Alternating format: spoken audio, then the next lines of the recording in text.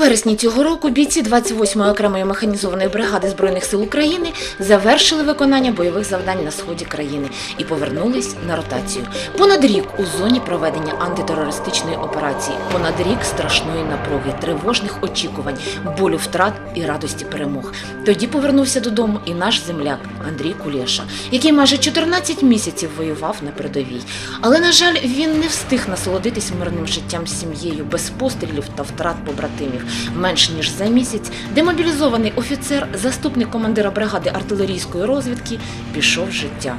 Помер від серцевого нападу. Вот 18 сентября он уволился.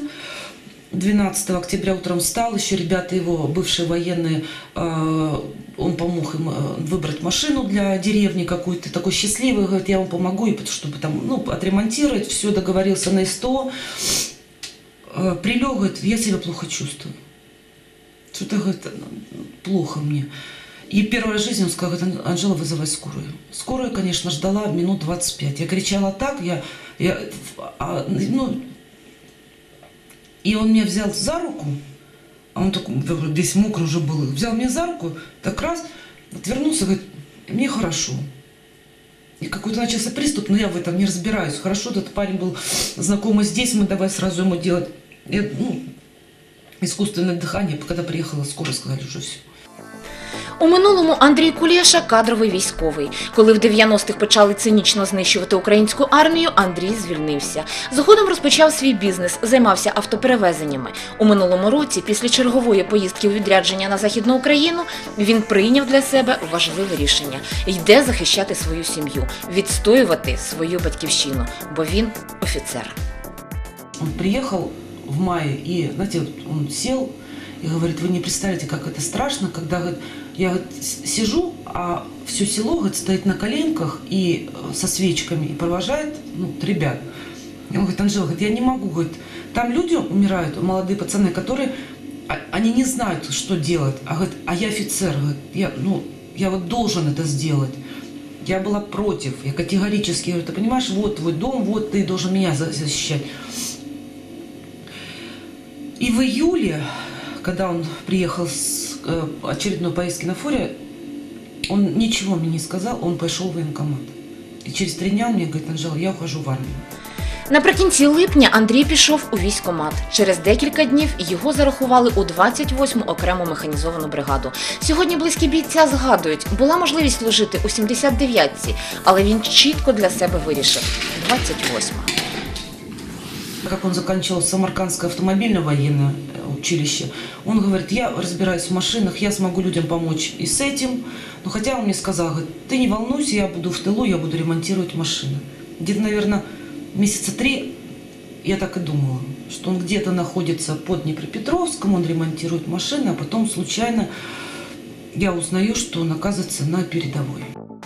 Місяць підготовки та бойового злагодження на Широколанівському полігоні і зона проведення антитерористичної операції. Красногорівка, район Восточка одна із самих небезпечних ділянок. Звідси до Донецька кілька кілометрів. До крайніх позицій ворога декілька сот метрів. Там заступник командира батареї управління та артилерійської розвідки воював понад рік.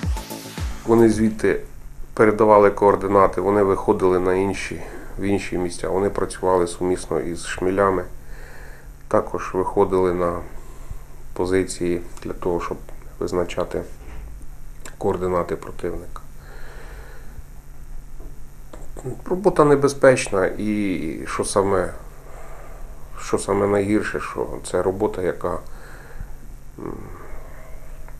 яка сили і здоров'я забирає мить.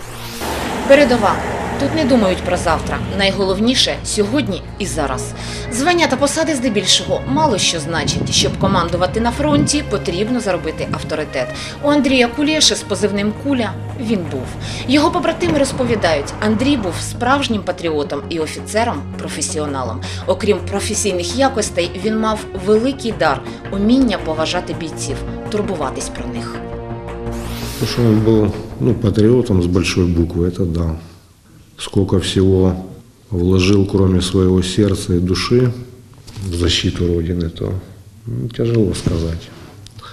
Ну, человек был такой веселый, не давал никому унывать, Во многих вопросах, как бывший офицер, он разбирался с толком, умел объяснить людям ситуацию, э, когда там возникали какие-то вопросы с чем-то. Он был самый первый, который эти вопросы пытался решать и решал. Проблемы в армии хватает, там и с обеспечением, и с питанием, и с организацией чего-либо, там быта, службы той же самой. Ну, так как он был человек опытный и, еще раз хочу сказать, ну, неравнодушный вообще. Все, что от него зависело, где он мог помочь, он всегда, не надо было там его ну, уговаривать, например, как мы иногда уговариваем каких-то чиновников, скажем. Все, что от него зависело, он все делал. Может быть, даже больше, чем несколько человек за всю свою жизнь. Из дома все. Генератор, Анжел, ничего, ты при свечках посидишь. Говорит, людям нужен э, свет. Нам нужно то. Забрал все таганки. Забрал была легковая машина, поменял на джип, потому что, говорит, Анжел, там нет, там, понимаешь, там, э, там нет времени медленно передвигаться. Я, говорит, нам надо было, тем более то, что обещали им какие-то машины там навороченные, э, ну, для того, чтобы перевозить их артиллерийские вот эти вот какие-то там установки, но я не, я не знаю, разведывательные, не было. Все это происходило вот на, на, на личной машине. В понедельник он пришел в военкомат, в среду он уже был на широком лане. Одевались носочков до всего, это мы на рынке.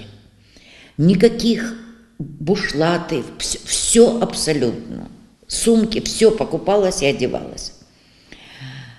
Они здесь подготавливали транспорт и все остальное. Он едет на своей машине. Едет туда на своей машине. Зачем я потом ему задала вопрос, Андрюша, а машина, вы, наверное, видели, она во дворе стоит простреленная. И, и он мне сказал, что мама, она спасает наши жизни. Я не понимала, как машина спасает, вы же воюете, да? Она спасала жизни. Что нужно было привезти ребятам? Привозилось. Что нужно было куда-то боеприпасы? Отвозилось. То есть все время на линии, на первая линия Красногорьевка. То есть это я, как мать, ничего не знала. Все было молча, все было хорошо. Мама, все хорошо.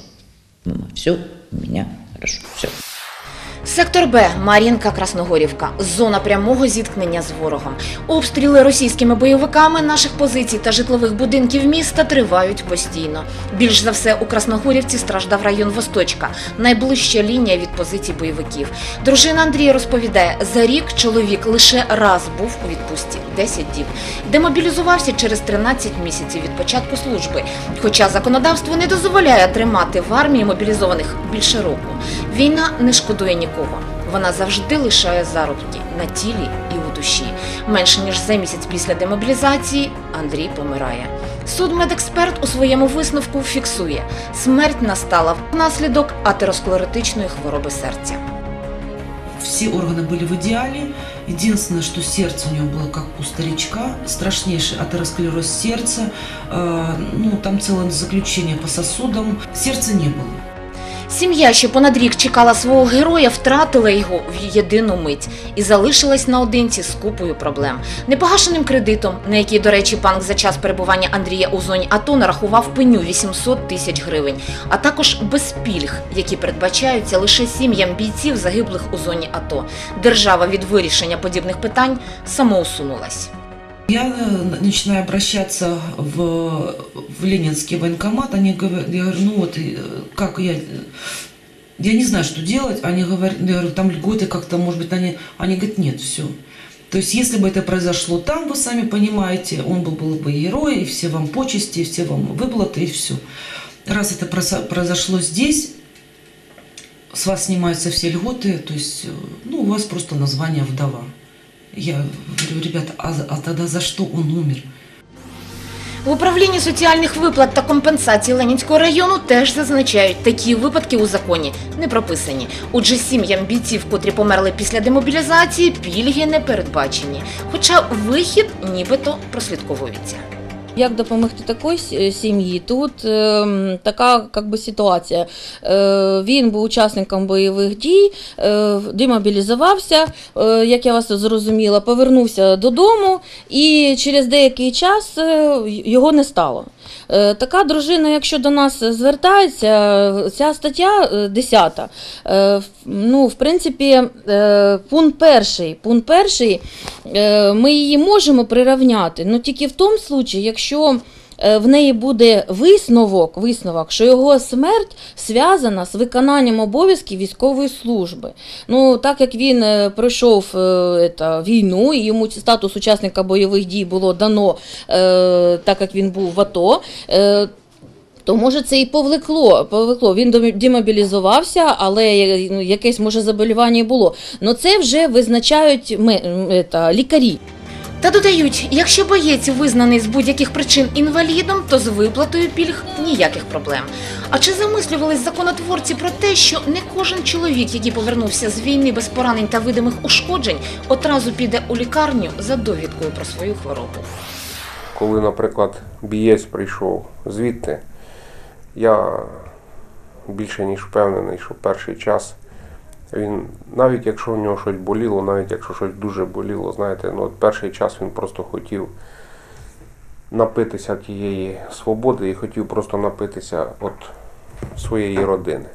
Він прийшов до родини, він повернувся, він щасливий, він живий, розумієте?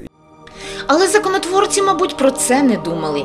Відтепер рідні мають ще довести державі, що атеросклероз у людини, яка пережила понад рік пекла, хвороба хронічна і, можливо, навіть набута під час служби. Інтернету поміч читаємо. Атеросклероз це хронічне захворювання. Цей факт підтверджують і медики. Атеросклероз развивается это не, не месяц, не, не два, то есть год как минимум. Знаходимо копію картки медичного огляду військовозобов'язаного Кулєши. Вердикт голови медичної комісії. До військової служби придатний. З висновку слідує наступне: хвороба могла виникнути або прогресувати саме під час служби. Після повернення Андрія зі сходу начальник медичної служби військової частини у медичній характеристиці зазначає діагноз здоровий. То, что сделали в военкомате, он призывался в Центральном. И личное дело его, я просто вам подсказываю, потому что то, что там передали щебанки, которые передавали два месяца, два месяца, нету о здоровье вообще ни слова. 17 сентября она медик или кто в Чебанке там, я не знаю, наверное, медик, по телефону сказала такую вещь, что когда он уходил, демобилизировался, мы написали ему здоров, и все. Вы смотрели его? Нет. Но это слова. У нас без бумажки ты букашка, а с бумажкой человек. Вот и все. То есть все документально должно быть выведено и подведено к черте того, что, что случилось. Медики та й самі атошники констатують, бійці, котрі провоювали на передовій, повертаються з підірваним здоров'ям. Та частіше за все не звертають на це уваги, бо повернутись живим вже щастя. Він там 13 місяців знаходився. Це влітку спека, осінню мокро, ти сирий повністю. І вночі біля нуля градусів. І отуди на, на, на дев'ятиетажку, хай туди на сім вітрів тих вилізе. Більше нічого не потрібно. Кілька артобстрілів. Більше нічого не потрібно людині. який би ти не був сильний, який би ти не був здоровий. В будь-якому випадку, ну, кожному здоров'ю приходить кінець. У Андрея была одна фраза, когда он вернулся. «Я так хочу отдохнуть. Я так хочу отдохнуть». Я спрашивала, Андрюша, а что бы ты хотел? Мама, санаторий. Чтобы я ни о чем не думал. Все.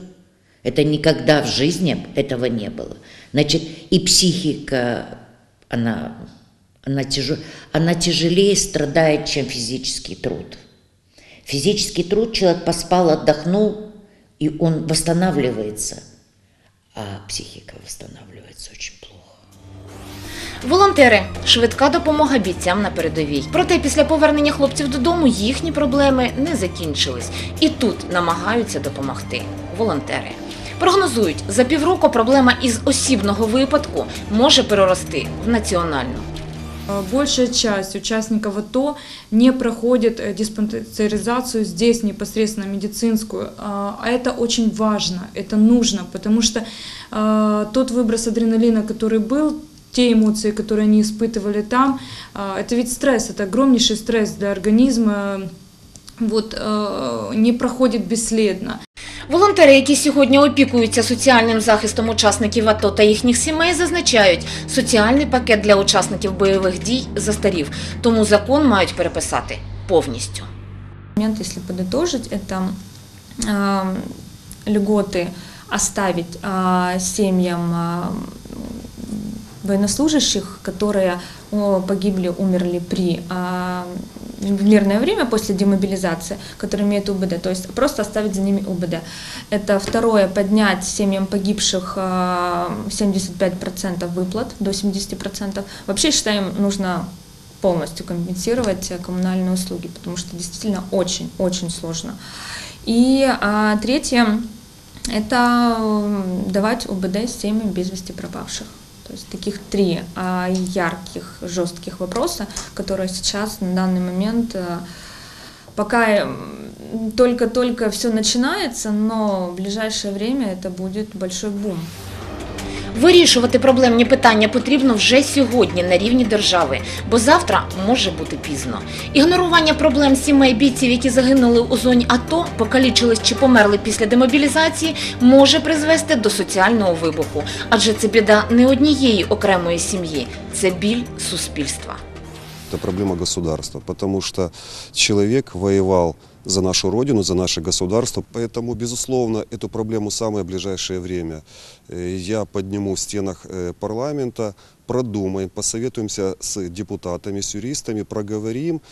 И я очень надеюсь, что мы пропишем на законодательном уровне, чтобы вот э, такие семьи были защищены в первую очередь государством. На первый взгляд, э, может быть, это действительно страховка, а может быть, это мы пропишем, что вот в течение, если человек, который пришел с зоны боевых действий, в течение, например, двух лет, вот с ним, не дай бог, подобное произошло, то семья, безусловно, должна быть защищена, и защищена, еще раз повторю, в первую очередь со стороны государства. От як ми відносимося до своїх загиблих товаришів, як ми відносимося до своїх патріотів, от так само і от, оце, весь, оце весь наш закон. Це закон життя. От так само і будуть дивитись на наш, наші діти, і внуки, і правнуки, і будуть само, так само себе вести. Тому відношення до цього дуже чітке і зрозуміле. Підтримку сім'ї треба робити. Чого б це не вартувало. И я не жалею. Я об этом не жалею. Он умер, его нету. Но я счастлив. Может, мне тоже мало осталось, но я счастлив, что он это сделал, и что у меня такой сын. Я счастлив. Чимало бійців, які, дякувати Богу, повернулись живими з фронту, і іноді не можуть знайти себе у цивільному житті. Адже їх погляди та реакція на життєві обставини суттєво змінились. І стикаючись з бюрократичною системою, вони відчувають себе зайвими у цьому мирному житті і воліють повернутись назад.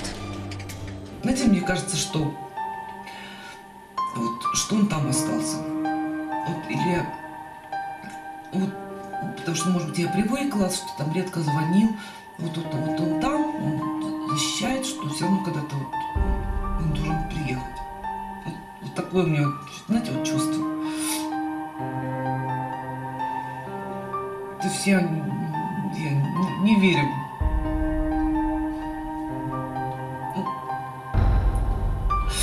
Я тоже так думаю, если, наверное, посмотрел бы на всю эту ситуацию, как здесь происходит.